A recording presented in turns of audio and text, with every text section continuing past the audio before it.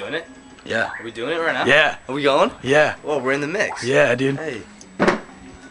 What year is it? 2007? Yeah. It's the uh, 27th of August. Just living the dream. Yeah. Fuck yeah. Um, I don't really skateboard anymore. You know. So when I see this in 10 years, you know, I should be skating again. I'll be rich bitch.